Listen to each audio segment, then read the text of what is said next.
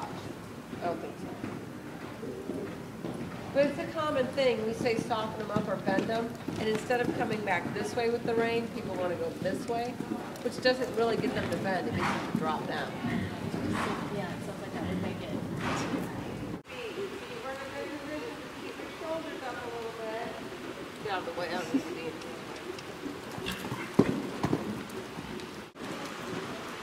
Surprise moment. Nose up.